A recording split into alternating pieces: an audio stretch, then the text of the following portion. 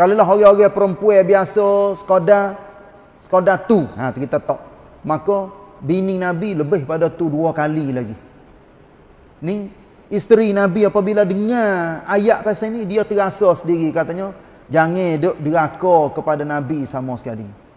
Sebab tu tak ada bini Nabi kecek huduh dengan Nabi. Kecek mengaku pun tak ada.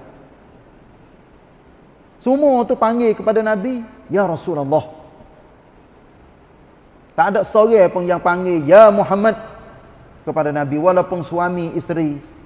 Biasanya kalau orang-orang tempat kita dia panggil abah. Nak panggil abah ke, panggil ikutlah nak panggil gapo nama yang munasabah dengan tok laki dia. Tapi jarang orang perempuan sebagai isteri nak pergi panggil nama tok laki. Kecuali dia panggil yak di awal lagi. Belum pada menikah tu dia panggil dia duk panggil nama siap dah. Lepas tu baru lepas ada menikah, hmm, tok laki kata aku nama gapo, panggil nama tu. Ha tu tak apa. Dah tok laki dia redha nak jadi bini dia panggil pasal itu. Tapi semuanya hormat belaka kepada suami. Apatah lagi Nabi wasallam.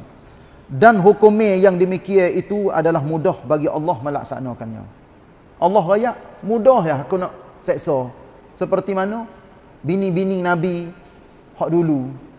Hmm, zami-zami Nabi Nuh, Nabi Lut yang Allah Taala rayak di dalam Quran. Dua-dua orang bini Nabi ni adalah ahli neraka.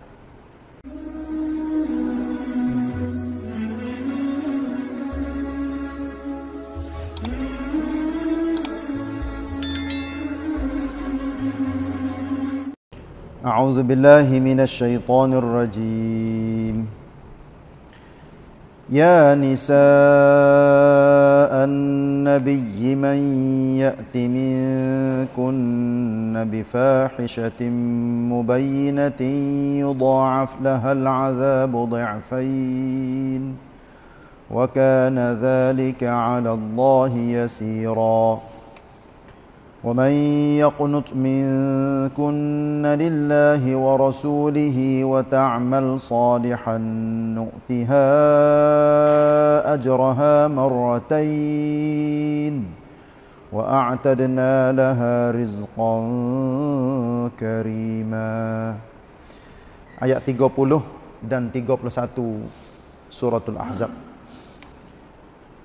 Uh, terjemuh ayat ni dulu lah. Lepas tu kita masuk di dalam huraya sikit-sikit dalam ayat belum pada ni. Wahai isteri-isteri Nabi. Sesiapa di antara kamu yang melakukan sesuatu perbuatan keji yang nyata. Nescaya akan digandakan azab seksa baginya dua kali ganda. Dan hukuman yang demikian itu adalah mudah bagi Allah melaksanakannya. Ini adalah Allah Ta'ala rayak kepada isteri Nabi sebagai isteri manusia yang teragung sekali di atas muka dunia. Kalau sekira, kalau sekiranya bini-bini Nabi itu pergi buat maksiat. Ada tafsir rayak katanya, fahishah di sini artinya nusyuz. Kalau sekiranya perbuatan keji yang dilakukan oleh isteri Nabi ahli tafsir katanya nusyuz. Nusyuz ni artinya orang yang diaka kepada tok lelaki. Orang nak cari tok lelaki. Kalau sekira. Tapi bini Nabi mana nak pergi buat macam tu? Tak ada seorang pun bini Nabi yang fikir nak pergi diraka kepada Nabi lebih-lebih lagi diraka kepada Allah Subhanahu Wa Taala. Sebab tu Allah Taala pilih bini-bini Nabi ni adalah orang yang terpilih. Orang yang daripada ramai-ramai manusia Tuhan pilih, pilih, pilih, pilih, pilih untuk jadikan isterinya dunia dan akhirat. Walaupun belum pada tu mereka duduk di dalam jahiliyah dan sebagainya. Tapi apabila masuk Islam, Allah ampun dosa habis perbuatan hak lepas-lepas mari dah.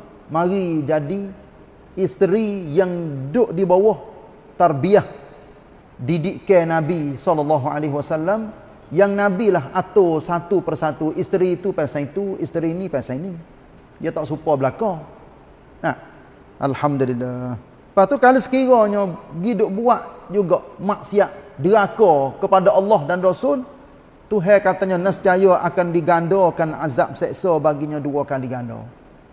Maknanya double dua kali ganda daripada manusia biasa. Kalau lah orang-orang perempuan biasa sekadar sekadar tu, ha kita tak. Maka bini Nabi lebih pada tu dua kali lagi. Ni isteri Nabi apabila dengar ayat pasal ni dia terasa sendiri katanya jangan duk deraka kepada Nabi sama sekali.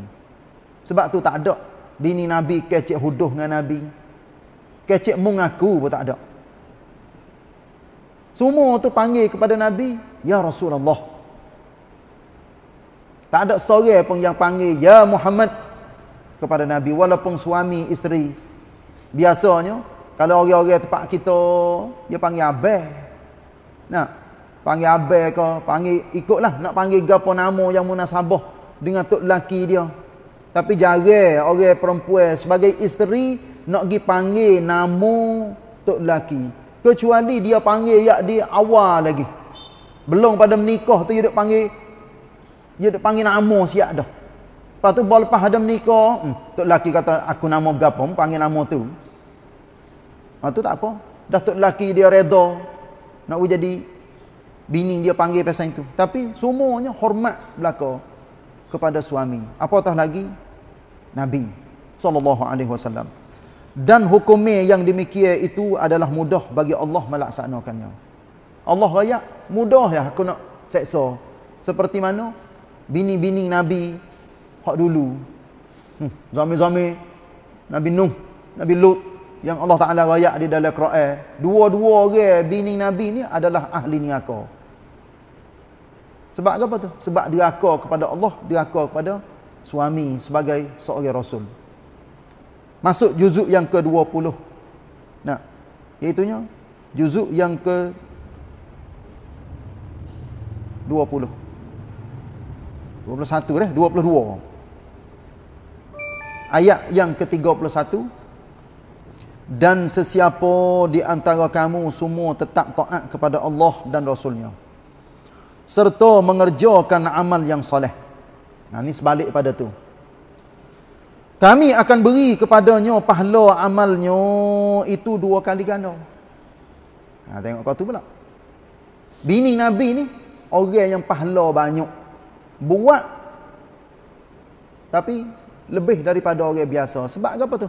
Sebab dia duduk di bawah di, di dalam keluarga Nabi. Ajaran Nabi terus menerus kepada mereka. Masya-Allah. Nak dan kami sediakan baginya limpah kurnia yang mulia. Ayat 30 dengan ayat 31 ni dia panggil belaga. Belaga di segi zahir ayat. Ayat 30 kecek hubungnya dengan kalau sekiranya isteri-isteri Nabi itu diraka maka balas yang akan bergandanya dua kali ganda. Tapi bagi orang yang bagi isteri Nabi yang buat amal soleh, taat, patuh, maka amalan dia, usaha dia akan digandakan pahala dua kali ganda. Ini ayat 30, 31. Kita kembali kepada ayat hubungnya dengan kemarin. Dah? Yang saya rayak kepada kita ayat yang ke-28, 29. Iaitunya cerita, boleh nak turun ayat ni. Bini-bini Nabi supaya peratuang Bukan duk pertuang siapa kau kecek huduh ke apa dak. Mari duk likung Nabi. Duk nok kepada ke dunia eh. Sebab boleh turun ayat ni. Ya bini-bini Nabi pakat duk likung. Abu Bakar dengan Umar ni ya dengar. Dengar katanya bini-bini Nabi ni. Pakat duk pertuang lah. Duk nak minta gotu, minta gani dengan Nabi. Dia pasal dia orang tino dah. Orang tino ni dia nak belakang tali tekak, nak tali tangi, nak cicing, nak pakai ye, nak gotu, nak gani. Nabi tak ada benda-benda pasal ni. Nabi hijau dia, hijau sahabat Islam, sahabat agama. Kalau dia boleh harta ghanimah, harta perang pun, Nabi dia tak tak milik kepada dia. Dia dia wi kepada orang fakir, orang miskin, duk keliling-keliling masjid. dan sebagainya. Nabi dia tak milik harta benda. Sehingga kita biasanya dah. Nabi ni dia tak jenera tidur. Kalau sekiranya dia ada lagi benda-benda dalam rumah tangga dia, makan ne ke, duit so ke apa, sedina ke, so dirham ke, ya ya ya tak tahu dalam rumah dia. Dia sedekah, sedekah, sedekah, sedekah. Esok kira semula pula. Ha tu. Tu Nabi. Jadi apabila Abu Bakar dengan Umar ni dengar dah Aisyah anak Abu Bakar. Hafsah anak Umar. Nabi Abu Bakar baca nak masuk rumah Nabi, tengok orang duk ramai dalam duk di pintu rumah Nabi. Orang tu nak kecek dengan Nabi, orang ni duk tunggu. Abu Bakar bila nak masuk tidak diberi izin kepada Abu Bakar. Tengok. Secara Abu Bakar lagi dalam tafsir ayat katanya tidak diberi izin sebab apa? Sebab orang duk tokiu banyak lagi nak jumpa dengan Nabi. Abu Bakar dengar dah katanya sehari dua ni nampak bini-bini Nabi duk nak peratuang. Lepas ada tu Umar pula. Nak masuk juga rumah Nabi. Tengok orang duk banyak depan rumah Nabi. Orang ni bukan bini Nabi dah. Sahabat-sahabat jadi ramai dah. Tidak diberi izin juga. Tapi apabila orang ramai saat ni selesai dah. Mari duk kecek, mari duk tanya, mari go tu dengan Nabi. Lalu itulah Umar dengan Abu Bakar ni minta izin nak masuk jumpa Nabi dalam rumah. Serta dengan Abu Bakar nak minta jumpa dengan Aisyah. Umar nak jumpa dengan Hafsah anak dia. Kecek depan Nabi. Rana weh, ha ni saya buat apa jadi gambar mudah-mudah. Rana weh. Napa nak tuang sangat? Nak ke gapo? Lagu tu. Nabi pun duduk dia. Abu Bakar dengan Umar lah duduk kecek bobe bobe. Nabi pun jawab juga.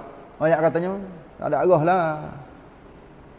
Bini-bini ramai-ramai nampak nak tuang belakang. Nampak nak ke, ke dunia eh. Nak ke tu, nak ke ni. Abu Bakar cuba masuk dekat dengan Aisyah. Dalam tafsir ayat katanya nak apa? Rana mung jadi lagu ni. Ha, tu. Umar pun nak tapa anak dia Hafsah. Rana dia jadi lagu ni. Tak hormat ke kepada Nabi. Ha, tu. Apabila anak Tino dengar lagu tu pok kecek. Berasa lagu mana? Cerak nak berasa, berasa selalu. Eh aku ni mari duduk tupai tuah Nabi. Nata-nata mari duduk peratuang. Ha, tu kena berasa lagu tu. Isteri Nabi apabila dengar ayat yang Allah Ta'ala buat turun ni. Ayat 28 ni. Pakat senyap belakang. Reti dengan sendiri. Ya nisa an-nabi. Eh, eh, ya ayuhan nabi. Qul li azwajika. Hei Nabi. Tolong ayatlah kepada isteri-isteri kamu. Kalau sekiranya menuk kepada Allah dan Rasul. Ataupun kalau sekiranya menuk kepada dunia. Mari. Kalau dia menuk kepada dunia. Mari aku nak hipong semua. Aku nak cerah bruf sekaligus lalu dah. Lepas tu Allah Ta'ala akan ganti orang-orang lain. Seperti mana ayat yang ada di dalam surah Tahrim. Aisyah dengan Hafsah. Usaha nak apa? Nak jadi buku dalam rumah tangga Nabi. Dengan sebab Nabi pergi masuk rumah isteri lain, minum apa? Minum nisa madu. Hafsah dengan Aisyah pun mula pasal nak peratuan. Allah Ta'ala raya dulu. Kalau sekiranya Nabi nak cerah pok-pok mung semua, Nabi cerah. Lepas tu ganti dengan orang perempuan yang lebih baik lagi muslimatin mu'minatin qanitatin taibatin abidatin taibat sayyibat thayyibatin wa abkara. Ni tu habila so so so so so so. Kalau sekiranya nabi ya cerah Allah Taala akan ganti dengan orang perempuan yang lain yang menjadi muslimah mukminah qanitat. Qanitat ni artinya orang rajin buat amal ibadat. Taibat orang yang rajin bertaubat gotu goni gotu gotu goni sama ada janda ke ataupun anak dara pun boleh Orang tino, minta maaf ni tak? Orang tino duk tunggu queue nak minta jadi bini Nabi ni. Bukan sikit. Ni ada di dalam sejarah. Rakyat katanya, orang tino mari pak. Rakyat kepada Nabi. Nabi, saya rela, reda nak jadi bini Nabi. Ambillah saya. Nabi ni Allah tak ada wikhoh untuk dia. Dia tahu katanya, hak mana jadi isteri dia. Nabi tengok. Nabi kata, aku tak tak perlu dah. Royak kepada sahabat. Sahabat mana buat senuk? Ambil. Nabi pun kecek dengan orang Tino tu. Ginilah. Aku rasa tak perlu dah. Menjadilah isteri sahabat. Alhamdulillah. Setengah-setengah sahabat ambil. Orang yang tawar diri kepada Nabi. Tapi Nabi wi kepada sahabat. Itulah nak ayat katanya. Ramai orang perempuan. Nak jadi isteri Nabi. Nabi tak ada minta walaupun sore. Itulah sebab boleh turunnya ayat yang ke-28 ni menunjukkan bahawa